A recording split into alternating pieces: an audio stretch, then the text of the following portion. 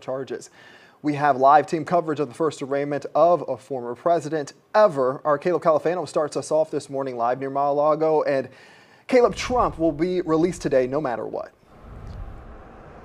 That is correct. That's what legal experts tell us, Stephen. But here at Mar-a-Lago, after a dramatic exit yesterday, the former president now in New York, set to be arraigned sometime later this afternoon. Now, those legal experts tell, that we talked to say once Donald Trump is inside the courthouse in Manhattan, he will be fingerprinted and photographed. Then he will be arraigned shortly after. Because of New York law, there is no bail, meaning the former president will be released immediately after his arraignment. At that time, the indictment will then be unsealed. The grand jury made the decision to indict the former president after hearing evidence over Trump's involvement of $130,000 in hush money he paid to adult film star Stormy Daniels before the 2016 election, allegedly to hide the relationship. Trump going to his app Truth Social yesterday, once again calling the investigation a quote witch hunt.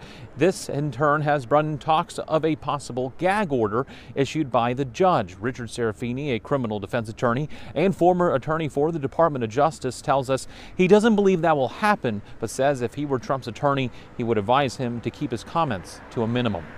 It's no different than any other, any other criminal defendant. And, and, you know, you never tell criminal defendants, you know, oh, gee, by all means, go out and have a press conference for crying out loud and talk about the case.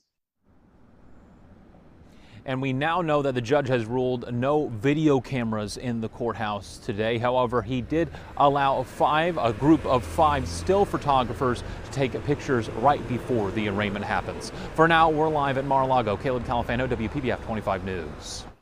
Caleb, thank you. Former President Donald Trump, meanwhile, has been gearing up for this legal battle. Our Josie Carbonari continues our live team coverage also from Palm Beach with how Trump's defense team is preparing for his day in court. Good morning, Josie. Well, good morning, Stephen. Good morning, Nathalie. This morning, things here at Mar-a-Lago are very quiet. It'll be a much different story, though, up in New York as that arraignment gets underway. We did speak with the former uh, president's attorney, and he tells us that things are still up in the air as far as how the arraignment will go and all of the details surrounding it. Uh, we saw a lot of supporters yesterday along Southern Boulevard here in Palm Beach as former President Donald Trump made his way to Palm Beach International Airport to turn himself in in New York. The former president has expanded his legal team ahead of today's arraignment. We're also learning Trump hired former federal prosecutor Todd Blanche to lead his defense team. Blanche is a former assistant assistant U.S. attorney in the Manhattan U.S. Attorney's Office and recently resigned from his law firm to take on this new role. His other attorney, Joe Tacopina, telling ABC News with this arraignment being a historical one, it's very different than any others he's done in the past done a million arraignments in that courthouse um, with with celebrities and whatnot, but this is a whole different thing. Um, we have Secret Service involved. Um, I understand that closing the courthouse for the afternoon. Um, I, I, just don't know what to expect to see. Hopefully, what I uh, what I hope is that we get in and out of there as quickly as possible. That it's uh, at the end of the day a typical arraignment where we stand before the judge, we say not guilty.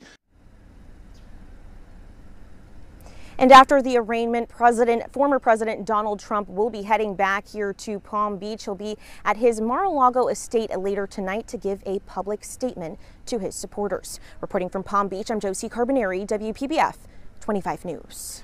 Josie, thank you for breaking that down. Right now, we do want to take you back to a live look here over Trump Tower. You can see it where the former president is staying right now. This is just four miles from the Manhattan Criminal Courthouse, so we want to map it out for you here as well. Sources tell ABC News that Trump